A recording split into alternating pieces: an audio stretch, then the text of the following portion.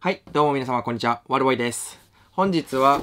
えー、こちらの K&F コンセプトの俯瞰撮影のできる三脚の方を購入しましたので、僕なりの使用感などを、えー、シェアしたいと思います。えー、それではですね、もう実際にね、開けてしまってるんですけど、え箱の中に、えこのようなね、三脚バッグの方も、えついています。そして、えその中にですね、三脚の方が入っています。これがですね、今回購入した三脚、えー、KF の TM2534T というね、えー、品番になります。こちらのまず三脚と、えー、取扱いの説明書、そしてね、えー、部品などがね、入ってます。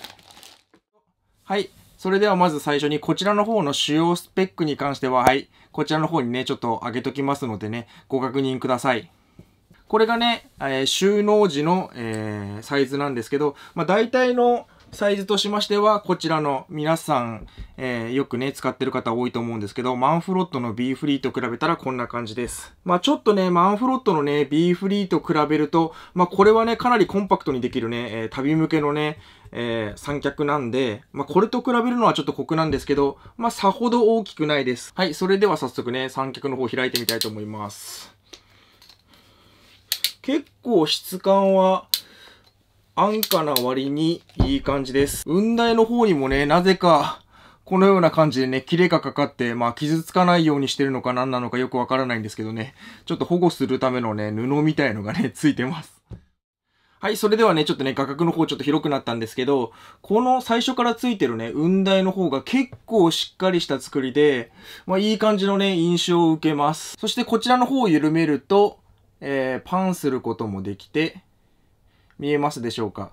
えー、このようにね、えー、パンすることもできて、え、ちなみにね、ここの、えー、雲台はアルカスイスのね、雲台なので、まあ、例えばね、ピークデザインのキャプチャーなんかも取り付けることができます。え、それではですね、え、こちらの三脚の僕がね、気に入っている点をね、3つほどね、ご紹介したいと思います。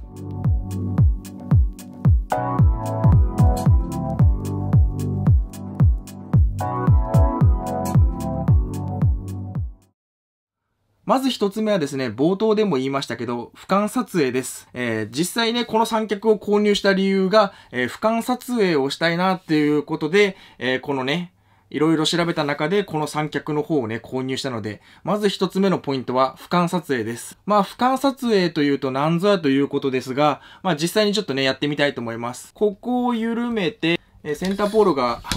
90度曲がることができます。まあ、こういうようにね、センターポールが90度曲がることによって、まあ、実際にちょっとカメラここにありますけど、まあ、こういう感じで、真上からね、真下に向けて、えー、撮影することができる。これがね、俯瞰撮影と言います。まあ、この三脚のね、まあ、メイン機能と言ってもいいんじゃないでしょうか。俯瞰撮影ができる三脚というのはね、なかなか限られてきたりね、結構ね、えー、お高い三脚にどうしてもなってしまうので、まあ、この三脚は、ちょっと今 Amazon 価格でこれぐらいの値段ですけど、まあ、これぐらいの価格でね、俯瞰撮影ができる三脚ってね、なかなかないのでね、まあ、ちょっと僕はね、コスパの方に惹かれて、この三脚の方をね、購入しました。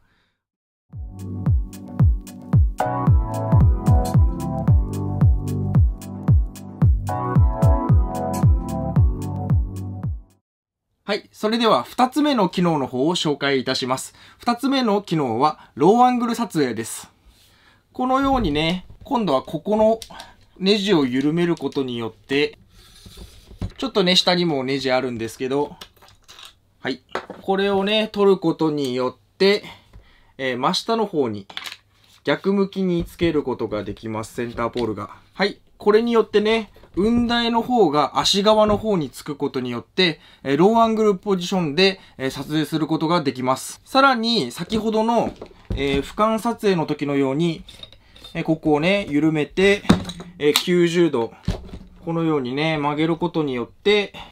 こういうようなね、えー、ポジションでね、撮影することができます。これによってね、結構ね、いろいろなアングルからね、えー、撮影することができるのでね、これはね、結構面白いなと思ったのでね、実際にね、ちょっとね、今度これを使ってね、撮影してみたいと思います。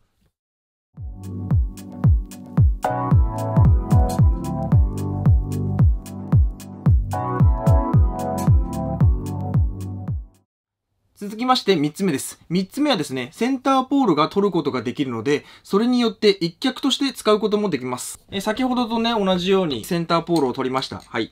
そして足のね、こっちの部分に、えー、ここの部分が、えー、緩めることによって、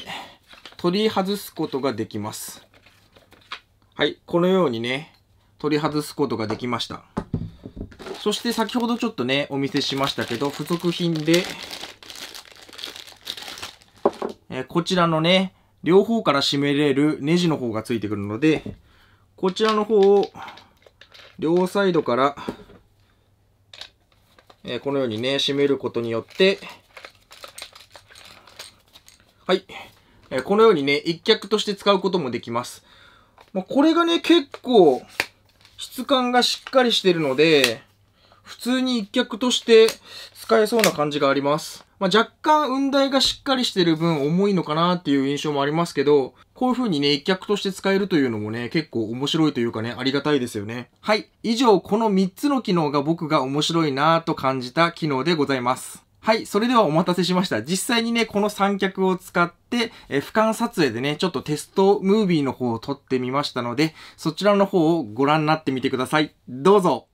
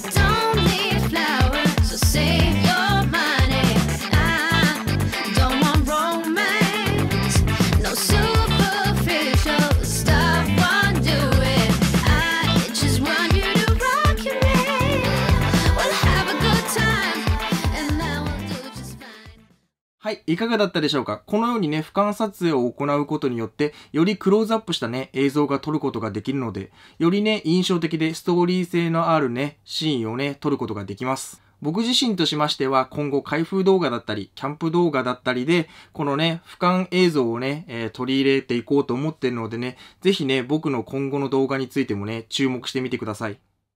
えー、最後にね、この三脚についての感想なんですけど、安価の割に作りがね、しっかりしているので、まあ、コスパの高いね、いい三脚だと思います。今回ご紹介しました機能をね、求めてる方にとっては、えー、おすすめできるね、ものと言えます。まあ、一方でね、例えばマンフロットの1905シリーズだったりとか、えー、ベルボンのね、三脚なんかでこのようにね、俯瞰撮影を行える三脚の方があるんですけど、まあ、そちらの方のね、より高価なものとの違いということで僕が気づいた点としましては、雲台の方は結構ね、しっかりしてて、まあ割と高価なね、えー、三脚の方と比べても、まあ遜色のないというか、まあ結構ね、まあいい作りで、まあしっかりとしてるので、僕としては好印象です。ただですね、ここの、えー、見えますでしょうか？ツイストロックのね、あたりのちょっと作りとかスムーズさがね、ちょっとやっぱりね、えー、マンフロットのね、1905シリーズとか、ベルボンの、えー、三脚とかはね、触ってみたこと実際に店頭で触ってみたことあるんですけど、やっぱね、それと比べちゃうと、ここら辺のツイストロックの周りとかが、まあ、若干値段相っていう感じかなっていう印象です。やっぱりどうしてもね、作りとか質感はね、そういうものと比べると、やっぱりまあ値段相応という感じなんですけど、まあ不安定な感じとかっていうわけじゃないので、そちらの方はね、ご安心ください。またね、経年劣化に関してもね、もしかしたら差があるのかなというような感じはしています。はい。それではですね、本日は、えー、この K&F コンセプトの KFTM2534T というね、三脚について、まあ、簡単ではありますけど、えー、僕なりのね、ちょっと使用感なんかをね、シェアさせていただきました。もしね、この動画を見ていいと思ってくださったのなら、えー、グッド評価の方ね、お願いします。また重ねてね、チャンネル登録お済みじゃない方はね、チャンネル登録の方もしていただけたら嬉しいです。えという感じで本日もご視聴ありがとうございました。また次回の配信でお会いしましょう。したっけね Bye.